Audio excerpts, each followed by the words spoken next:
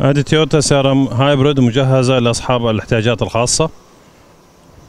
حلو في هنا تفكير لكل واحد فما حد يقعد متعطل أو محتاج شيء. الكل يقدر يروح ويجي يؤدي أعماله بكرامته بعزة نفسه بدون احتياج لأي أحد أو المساعدة لأي أحد. شوف الكرسي يتسحب يطلع لغاية السقف فوق. يتحط من سيارة صغيرة يطلع لغاية فوق يتسحب بالكامل وتحط فوق السقف. وارجع بالجهاز ينزل هو ثاني مرة لغاية تحت. وهنا كمان واحدة ثانية؟ أكبر. شوف هنا كرسي كهرباء. متحرك بالكامل يخش يطلع هنا. جوا السيارة.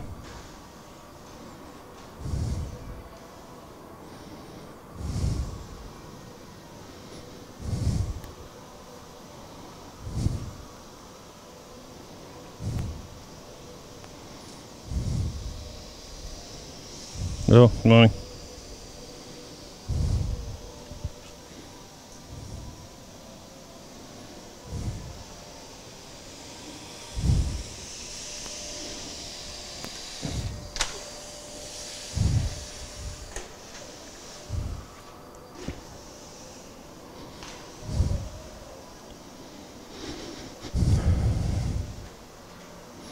حلو هنا كل إنسان بكرامته يعمل ويشتغل ويبدع وينتج ويكون دور في مجتمع فعال بدون ما يكون أحد في لا سمح الله متعطل أو متأخر أو محتاج أو مزنوق أي شيء بأي شكل من الأشكال يعني.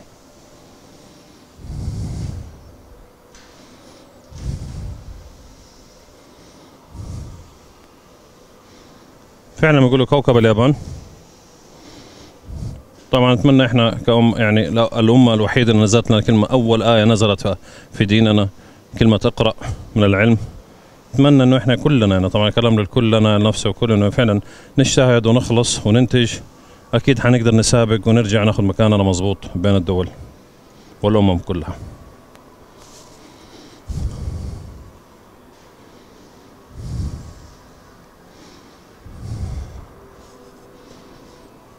طبعا شوف هنا الله يسلمكم. كراسي الأطفال. تكلمنا قبل كده سلسلة حياتك تهم أو تهمنا عن أهمية كراسي الأطفال وكيف إنها حيوية جدا. في بعض الدول الأم ما تخرج من السيارة ولا تركب السيارة إذا ما في كرسي للرضيع يتحط فيه. مش تحطها في عبه في عبها ولا في حضنها وتطلع في السيارة راكبة قدام أو ورا.